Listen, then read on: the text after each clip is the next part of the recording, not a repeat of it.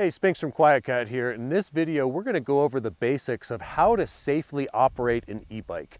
Now, electric bicycles today are very different than the bicycles that we had in the past. We'll call them acoustic bikes to make it easy. A lot of these new modern electric bikes have a lot of power, which is putting a lot more force through the drivetrain components, including the chain rings, the chain, and the rear derailleur. So in order to make these components last as long as possible, we wanna make sure we're operating this properly. On QuietKat bikes, we've got both mid-drive and hub drive motors, and these basic principles apply to both mid-drive and hub drive. Although the mid-drive motor is significantly more important because of course the power is going from the chainring through the chain to rotate the rear wheel. This is where utilization of the gears is the greatest feature of a mid-drive, but it's also paramount that we use these gears in order to operate the bike at different speeds and operate in different types of terrain. So what's crucial about the mid-drive motor, of course, so the mid-drive motor is gonna be pulling on the chain, right? Pulling this way in order to rotate the rear wheel. And what we want is the path of least resistance of all this energy to turn into rotation of the rear wheel if the wheel is stuck into some dirt, some mud, maybe we're on a hill, there's some rocks or other things in the way, this power is going to pull and pull, and the path of least resistance could be breaking the chain. Especially when we're down here in this ninth gear, the chain is actually at an angle to where it's coming off of the chainring and immediately going out to the side in order to get all the way to this gear. This creates a shearing force which causes the chain to peel apart. So we're out here in the mountains. As you can see, we've got a big hill behind us. We've pulled off to the side and the first thing I notice is a super crucial error. What's happened here is we've come to a stop and the chain is down here in the smallest gear.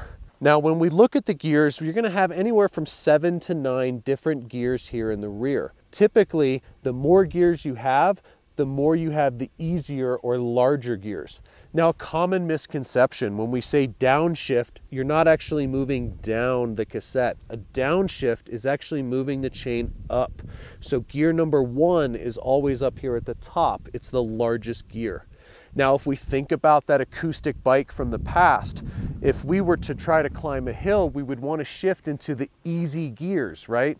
And the easy gears are up here at the top, one, two, and three.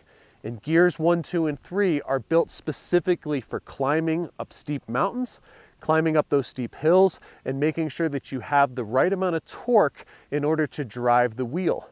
Now, just like on that acoustic bike, our mid-drive motor is actually benefiting from that easy gear, the same way you would when you're feeling like it's easier to pedal versus more difficult to pedal. In our truck, if we were to try to start out in fifth gear or sixth gear, we would more than likely stall, which is why we always have to start in first or second and then work our way up. It's the same thing on an e-bike, especially with a mid-drive motor. We wanna make sure we're starting up in one of the easier gears.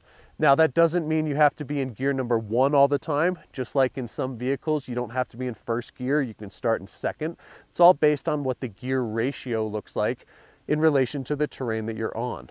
So if we're on a nice flat surface, I recommend starting out in gear three or four. This is gonna be enough torque to be able to safely get the wheel moving, but also is gonna have enough power to get you up and going so that you're not fighting against balancing on the bike. If we're starting to go up a hill, ideally we want to turn around, start down on a flat section, and then work our way to the hill. It's very awkward to try to start while on the bike, while on a hill, and fighting against gravity and all the resistance. Okay, so what do we do in this situation? We're down in the hardest gear, we're about to go up a steep hill. So the first thing we're gonna do is make sure the bike is powered off so that when we go to crank the pedals, we don't injure ourselves or someone else around us. So the bike is powered off, it's onto the kickstand. You're gonna lean the bike up so that the rear wheel can rotate freely. And then you're simply going to use the thumb shifter, rotate the pedals, and we'll go ahead and shift all the way up. We're now in gear number four. I'm gonna go up one more gear that way I'm starting in gear number three. All right, so now we're gonna power the bike back on. It comes back up into power level one. I like to double check by leaning the bike back up again, just pushing the throttle a little bit, and just making sure that that gear shift has been completed. It's always important to make sure that the system is rotating and without resistance when you're making a gear shift. So now that we're into the proper gear, we can go ahead and climb up this hill.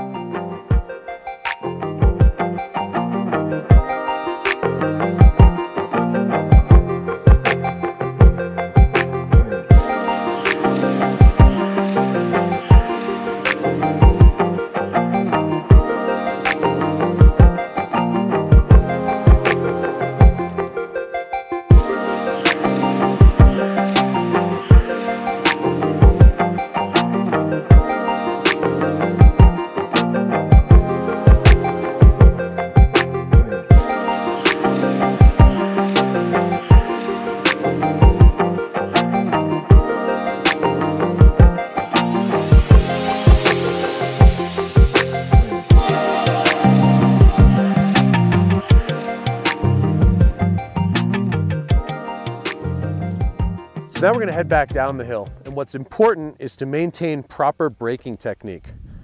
So the first thing we're gonna do is make sure that we're seated firmly on the saddle. Our back is nice and straight, eyes up, looking ahead at the terrain. Fingers are on the brake levers. QuietKat comes with disc brakes and a two finger lever to give you a little extra power. On my Apex here, I've got hydraulic disc brakes, which have the ultimate stopping power and allow me to slightly modulate how much braking pressure I need. It's important that we don't just grab the brakes and hold them down the entire time. We want to maintain rolling traction, which means keeping the wheels rolling as we go over rugged terrain. What we don't want to do is squeeze both brakes all the way to the handlebars, locking up the wheels. It's important to maintain that rolling traction, especially when the terrain gets really rough or loose.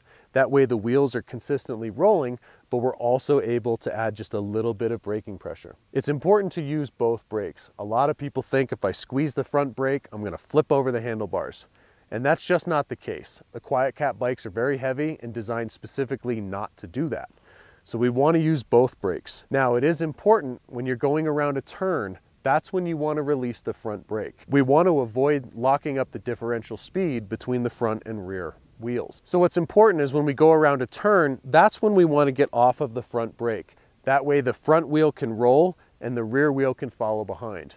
Obviously there's a differential speed between the front and rear wheels and we want to avoid locking up the front so that we don't pretzel over. Most electric bicycles today, including most QuietKat models, come with adjustable power levels. And you have anywhere from 1 to 10 different power levels of assist and this is going to determine how much power you're going to get out of the system. General rule of thumb is you want to use as minimal assist as needed to overcome the terrain that you're on. This is going to help save your battery range and it's also going to help you stay in control of the machine. What we don't want to do is go into some rocky riverbed at full speed and have to manage just staying on the bike.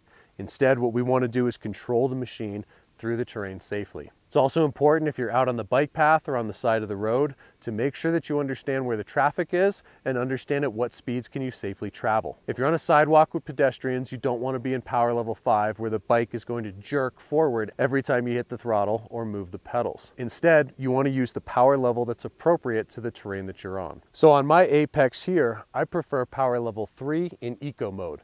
It has enough power for me to move with the machine and all of my gear and over most terrain.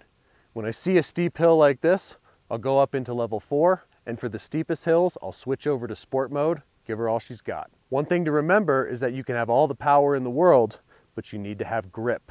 So it's important to make sure that you're maintaining grip on the rear wheel.